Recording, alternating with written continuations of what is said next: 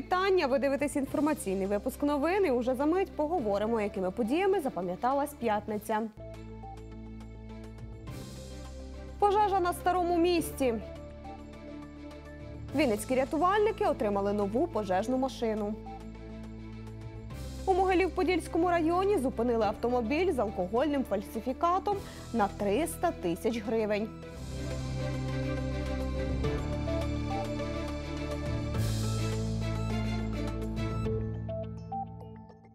5 тонн води і 500 літрів піни. Саме стільки вміщається у новий пожежний автомобіль, який отримали вінницькі рятувальники.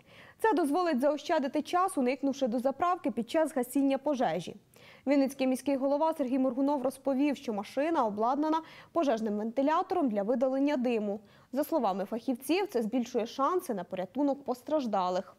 За останні чотири роки рятувальники міста отримали чотири спецавтомобілі, спорядження та бойовий одяг на понад 10 мільйонів гривень.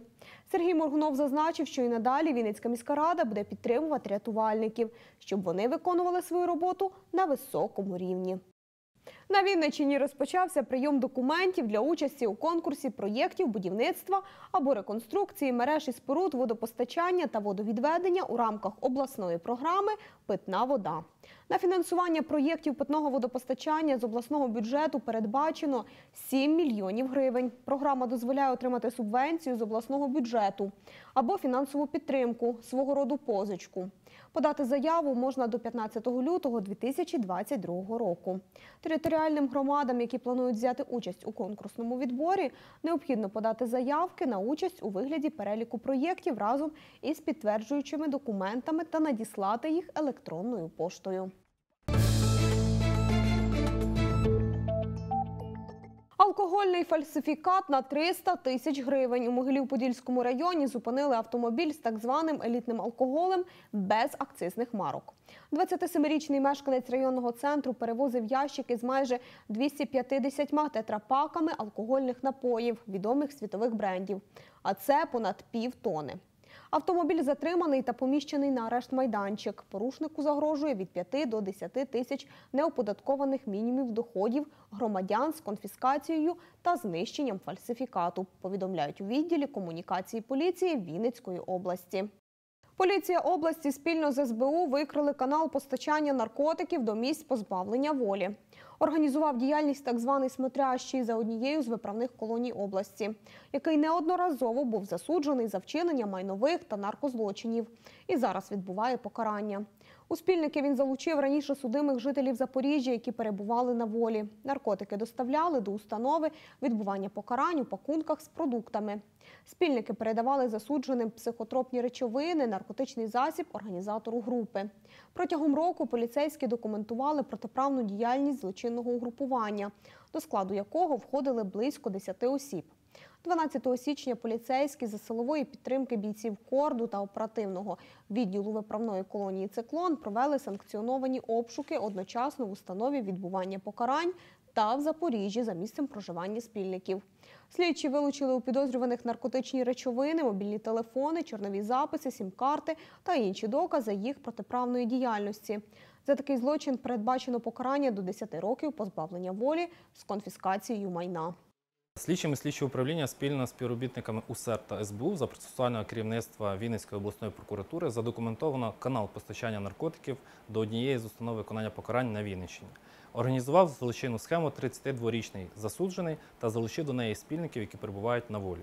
Психотропну речовину фігуранти маскували в продукти харчування, після чого почтовим зв'язком направляли ув'язненим, які в свою чергу передавали в міст посилок організатору. В ході проведення санкціонованих обшуків в установі виконання покарання, а також за адресами проживання спільників на волі, виявлено та вилучено докази злочинної діяльності групи. Документування злочину відбувалося в межах кримінального провадження, зареєстровано за статтею 307 Кримінального кодексу України. Покарання передбачає позбавлення волі від 6 до 10 років з конфіскацією майна. Водій БМВ влаштував дрифт-шоу на площі Ліверпуль. Це зафіксували камери ситуаційного центру. Згодом відео з'явилося на Фейсбуці. За це порушнику загрожує два адміністративні протоколи. Начальник комунального підприємства муніципальної варти Віталій Чигур каже, що запис з відеокамер працівники муніципальної варти передали патрульній поліції. А вони вже встановили правопорушника та запросили в управління, щоб скласти протоколи про адмінпорушення. Пожежа на старому місці налякала вінничан. Горів курник, але полум'я було таким сильним, що могло будь-якої миті перекинутися на багатоквартирний житловий будинок. Схвильовані сусіди одразу викликали рятувальників, яким, як кажуть очевидці, довелося добре попрацювати, щоб загасити полум'я. Причини виникнення загоряння поки невідомі. У соцмережах вже з'явилося відео з місця події. Ожеледиться на дорогах, мокрий сніг, пориви вітру від 15 до 20 метрів на секунду. Це прогноз синоптиків на вихідні. У зв'язку з цим у Вінниці оголосили жовтий рівень небезпеки. Начальниця авіаційної метеорологічної станції Цивільна Вінниця Марія Горбата наголошує, що за таких погодних умов вінничанам варто не виходити з дому без нагальної потреби, і особливо людям літнього віку. Адже такі сильні пориви вітру можуть призвести до обриву ліній електропередач, гілок дерев тощо. Водіям варто бути обережними на дорогах, не паркуватись біля дерев.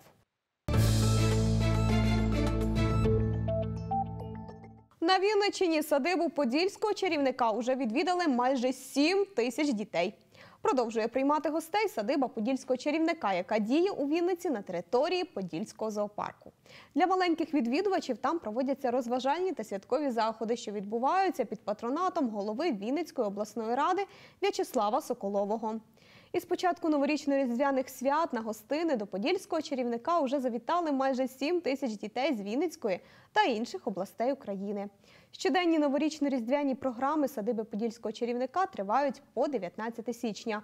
У програмі хороводи біля ялинки, флешмоб за участю подільського чарівника та його казкових фей, відвідання садиби подільського чарівника, екскурсія зоопарком, фотосесії. Взяти участь у програмі може кожен відвідувач подільського зоопарку. Садиба Подільського чарівника на території зоопарку є складовою проєкту Подільський зоопарк як центр сімейного дозвілля, департаменту міжнародного співробітництва та регіонального розвитку, здійсненого коштом програми секторальної підтримки Європейського союзу. Це були всі новини на сьогодні. Підсумки тижня, що минає, розповість Володимир Грицик. А з понеділка для вас працюватиме моя колега Світлана Пашенько. Бажаю вам гарних вихідних і до зустрічі на рідному каналі.